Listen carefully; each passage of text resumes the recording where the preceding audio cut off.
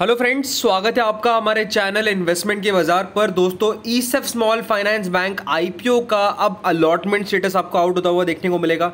क्या आज अलॉटमेंट आएगा या कल अलॉटमेंट आएगा या फिर कोई अलॉटमेंट की कौन सी डेट तय की गई है?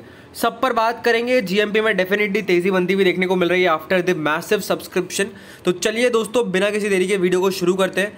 तो सबसे पहले फ्रेंड्स यहाँ पर अलॉटमेंट स्टेटस की अगर डेट की बात करें कंपनी द्वारा जो डेट तय की गई है, वो 10 तारीख तय की गई यानी फ्राइडे को अलॉटमेंट आता हुआ देखने को मिलेगा। बट यहाँ पर दोस्तों, आजकल क्या है टी प्लस थ्री सेटलमेंट होता हुआ देखने को मिल रहा है। तो अगर आज और कल में अलॉटमेंट नहीं आता है तो दोस्तों, दस तारीख को अपने को अलॉटमेंट आता हुआ देखने को मिलेगा। बट मोस्ट प्रोबेबली आज आई थिंक सो अलॉटमेंट जो है, अपने को फाइनलाइज जो है, वो होता हुआ देखने को मिल जाएगा। एंड रही बात सब्सक्रिप्शन स्टेटस की तो कल Q I B portion 182 time भरता हुआ देखने को मिला था। लास्ट इतने आईपीओस देखे, सबसे ज़्यादा सब क्यू आई बी सब्सक्रिप्शन जो है, वो इसमें आता हुआ देखने को मिला है। और डेफिनेटली जिसके चलते आप देख सकते हैं रिटेल पोर्शन भी पीछे नहीं हटा है, सत्रह गुना भरता हुआ देखने को मिला है। एनआईआई पोर्शन भी अट्ठासी गुना भरता हुआ देखने को मिला है। तो सब्सक्रिप्शन जोरदार आया और डेफिनेटली अब लिस्टिंग भी इसकी तगड़ी आपको होती हुई देखने को मिलेगी। अलॉटमेंट चांसेस की हमने पहले भी बात कर ली थी, हर सोलह निवेशकों में से किसी एक निवेशक को यहाँ पर आईपीओ मिलता हुआ देखने को मिलेगा। एंड रही बात अलॉटमेंट स्टेटस की तो कैसे आपको चेक करना है? सबसे पहले बता दूँ लिंक इन टाइम इसका रजिस्टर है। गूगल पर जाना है आपको link in time allotment check search करना है।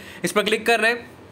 उसके बाद कुछ ऐसा इंटरफेस ओपन होता हुआ देखने को मिलेगा, जहाँ पर आपको इस लिंक पर क्लिक करना है। एंड यहाँ पर अगर आप देखेंगे तो यहाँ पर आप देख सकते हैं, अभी मैत्र या मेडिकेयर का आईपीओ दिखा रहा है।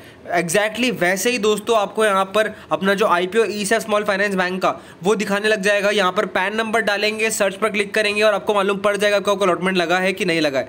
तो ये आसान सा तरीका है। इसके थ्रू आप अपना अलॉटमेंट आसानी से चेक कर सकते हैं। प्लस दोस्तों आप अपने S M S emails debit credit ज़रूर चेक करते रहिएगा। बैंक बैलेंस चेक करते रहिएगा। अगर वहाँ पर दोस्तों आपके पैसे जो थे, आपके कट चुके दैट मीन्स आपको अलॉटमेंट लग चुका है, लेकिन पैसे आपके अकाउंट में वापस से आ चुके क्रेडिट हो चुके दैट मीन्स आपको अलॉटमेंट नहीं लगा है। तो ये आसान से तरीके इनके थ्रू आप अपना अलॉटमेंट आसानी से चेक कर सकते हैं। रही बात ग्रे मार्केट की तो इक्कीस रुपए पर करंट ग्रे मार्केट चल रही है आईपीओ की तौड़गढ़ की वेबसाइट पर एंड चाणक्य की वेबसाइट पर भी इक्कीस रुपए के आसपास ग्रे मार्केट रहता हुआ देखने को मिल रहा है। बता दूँ हाईएस्ट जो ग्रे मार्केट गई है, अब तक बाईस रुपए रहती हुई देखने को मिली है डेफिनेटली यहाँ पर यही इंडिकेशन दिया जा रहा है कि अच्छी और स्ट्रॉन्ग लिस्टिंग आपको इस आईपीओ में होती हुई देखने को मिलेगी। रही बात दोस्तों प्रॉफिट पर लॉट की तो पाँच हज़ार का मुनाफा पर लॉट पर यहाँ पर होता हुआ देखने को मिलेगा, और डेफिनेटली जिसको भी आईपीओ मिलेगा वाकई में वो काफ़ी लकी पर्सन होता हुआ देखने को मिलेगा। तो दोस्तों अच्छा हुआ आपने वीडियो देखा तो सब्सक्राइब करें थैंक यू दिस वीडियो